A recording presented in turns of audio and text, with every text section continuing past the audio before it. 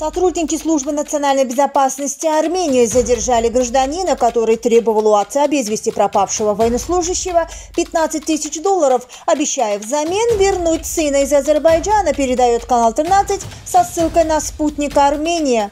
В результате оперативно-розыскных мероприятий выяснилось, что мошенник, узнав о том, что солдат-срочник без вести пропал во время войны в Карабахе, в январе 2021 года связался с отцом военнослужащего и сообщил ему, что якобы имеет связи в зарубежных странах и что якобы уточнил местонахождение его сына. По его данным, армянский солдат якобы находится в Азербайджане. Мужчина также заявил, что для организации возвращения солдата-срочника на родину через третью страну необходимо 30 тысяч долларов.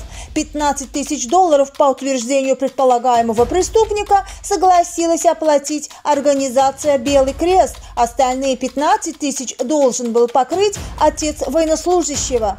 Чтобы замести следы, мошенник предложил отцу солдата оформить перечисление денег как выдачу средств в долг.